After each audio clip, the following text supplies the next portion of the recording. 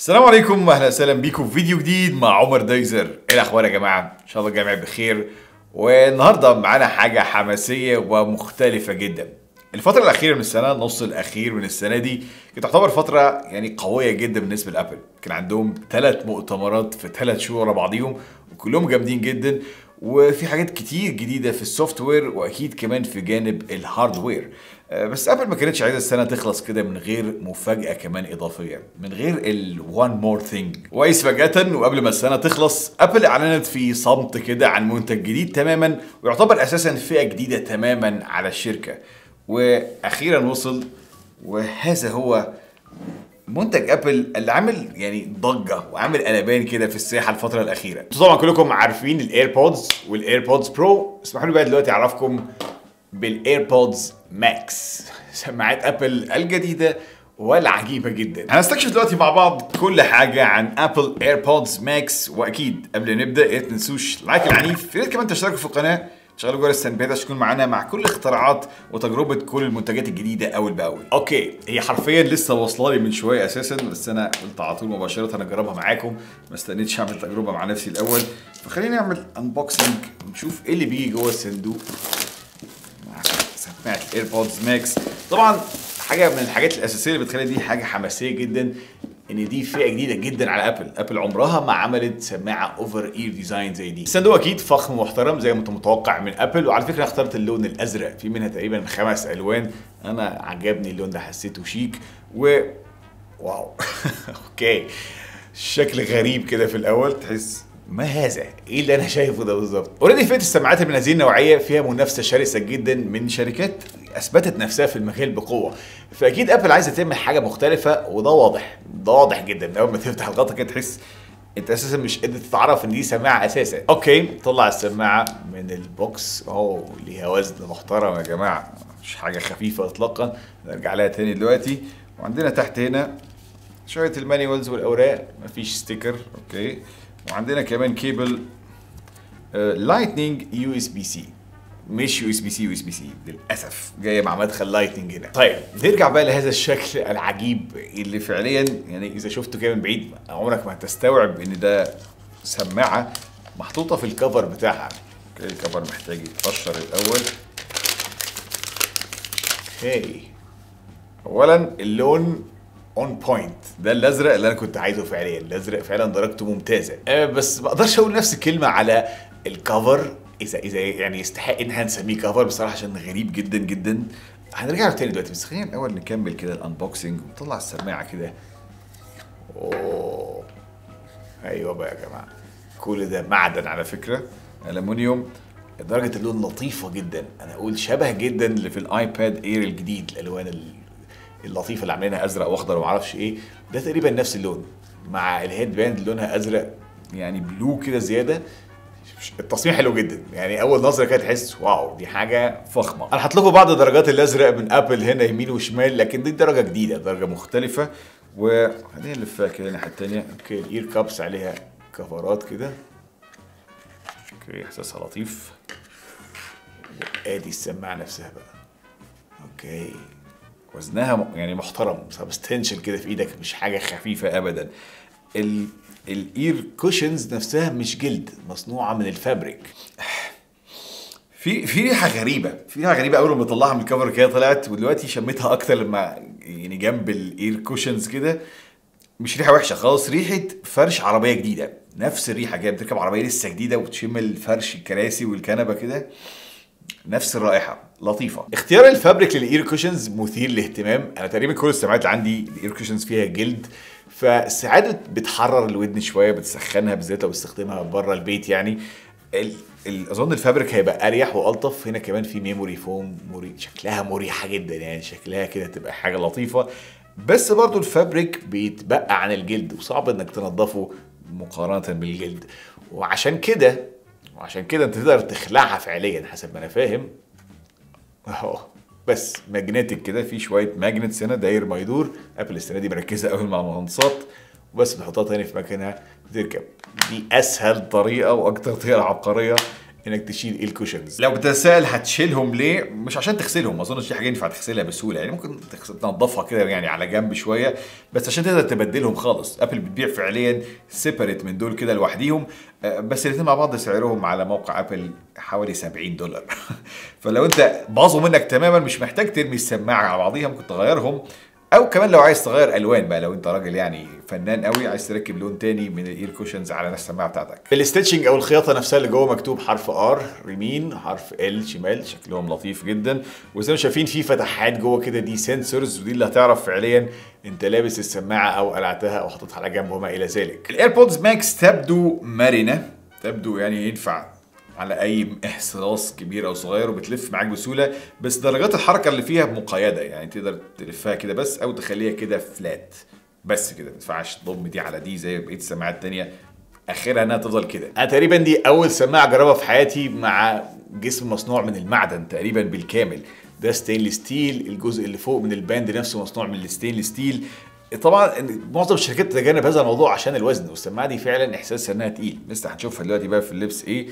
بس إحساس طبعا المعدن والشكل وال الالومنيوم المطفي شوية ده شكلها رهيب صراحة الشكل خطير جدا بالذات اللون الأزرق ده أظن إن هو بالنسبة لي أنا أشيك لون فيهم. معظم السماعات بيكون فيها جزء بلاستيكي كده في الجنب اللي بيتكتك ده لما تيجي توسعها أو تضيقها هنا مفيش أي حاجة بلاستيكية هنا فعلا زي جزء كده من ال stainless steel بيدخل في ال headband نفسها ويعني ليه كده friction كده بيتزحلق معاك إن هو تحس فيه موتور طبعا لكن مفيش أي حاجة وبيثبت في مكانه. يعني خلاص وسعتها كده ترجع لها تاني هتلاقيها بنفس الوسع ده مش هتقعد توسع وتضيق كل شوية مفيش أي صوت. وتقف ممكن توقفها في أي حتة مفيش تكتكة هنا.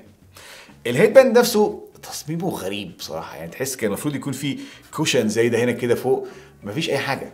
ده مخرم ده mesh كده شبك. الأجزاء اللي فوق دي كلها تحسها متغطية ب rubber كده ناعم لكن جواها كلها stainless steel يعني. هنا كل ال headband مكمل stainless steel طبعا هتحس إنها حاجة إزاي؟ أحط حاجة زي دي على رأسي. لكن ال mesh ده هو اللي باين من تحت هو الحاجة الوحيدة اللي هتلمس راسك. وأنا مش فاهم هو إزاي مخلينه لافف كده ويفضل ملفوف بالشكل ده. شكله لطيف جدا لكن هنحتاج بقى نجربه. وأظن برضو ده حاجة تخلي بالك عليها إن ممكن قلم ولا مفاتيح ولا أي حاجة تخرمه بسهولة. حاجة برضو أخدت بالي منها إن لو السماعه في هذه الوضعية عادي ناحيتين يخبطوا في بعض لكن لما تلفها كده دلوقتي المعدن هو اللي بيخبط في بعضيه وأظن ممكن السماعه تجرح نفسيها فما ينفعش تسيبها بالوضعية دي يعني فاهم؟ كده أظن ممكن يقعدوا يخبطوا بعض فخليها دايما كده أحسن. الـ AirPods Max طبعا فيها خاصية الـ noise cancellation زي ما هنحكي بالتفصيل بعد شوية وهتلاقي متوزع عندك هنا فتحات حوالين كل ناحية من الاثنين تقريبا هنا في تسع ميكروفونات مخصوص. عشان تلغي الضوضاء. من تحت هتلاقي عندك مدخل الـ Lightning port ومن فوق عندك بس طريقتين للتحكم فيها. مفيش أي touch هنا كل حاجة physical الناحيه اليمين هتلاقي عندك بس زرار واحد تقريبا ده اللي بيحول ما بين الـ transparency والـ noise cancellation وهتلاقي عندك digital crown فاكرين نفس الموجود في الـ Apple Watch الزرار اللي تقدر تلفه.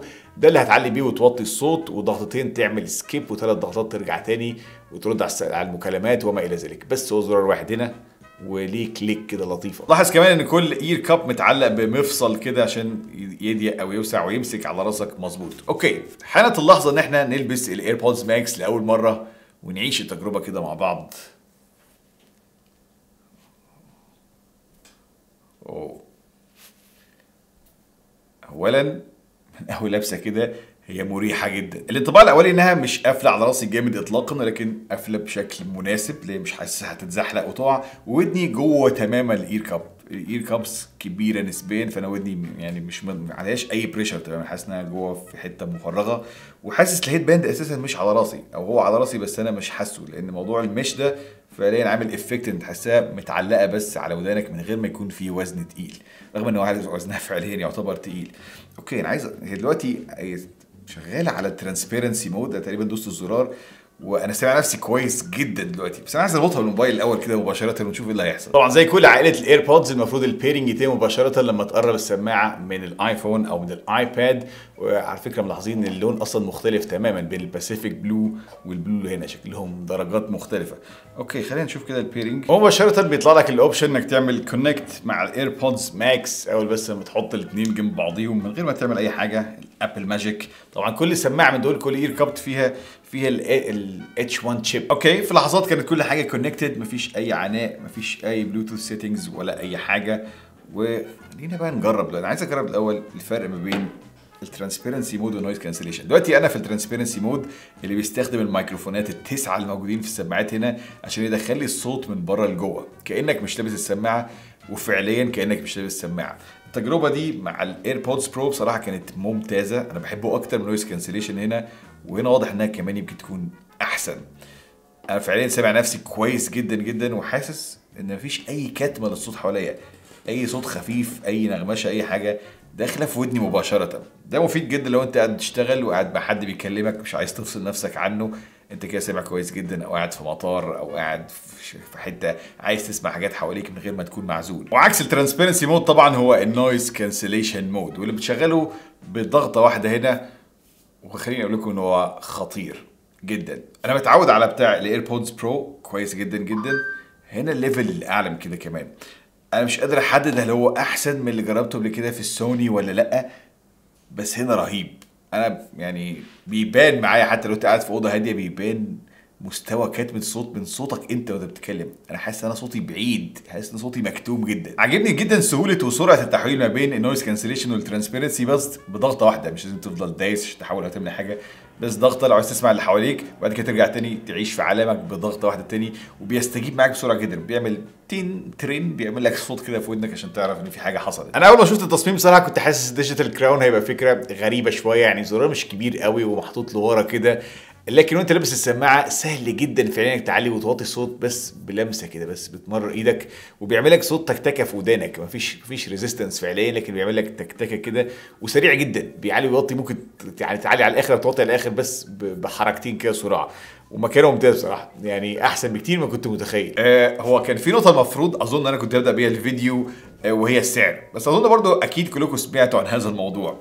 السماعة دي يا جماعة أول سماعة over-ear من Apple سعرها 550 دولار ده رقم كبير جدا مقارنة بأي سماعة تانية موجودة في السوق في هذه الفئة. سماعة سوني اللي أنا بعتبرها بالنسبة لي بصراحة الـ king الـ XM 4 سعرها حوالي 350 دولار. إحنا بنتكلم على فرق 200 دولار ما بين الاتنين ودي بالنسبة لي بتعمل كل حاجة أنا ممكن أحتاجها من أي سماعة، بس بصراحة في فرق شاسع في جودة التصنيع ما بين الاتنين، دي مش وحشة إطلاقا وبتأدي الغلط جدا، لكن دي واضح إنها حاجة كده رفاهية، حاجة فخمة زيادة، المعدن والتصميم والشكل أكيد هنا توحي إنها أغلى بمراحل. بس سيبك من الشكل والتصميم المهم هنا هو الأداء وال- والتجربة اللي تاخدها فعليا مع كل سماعة.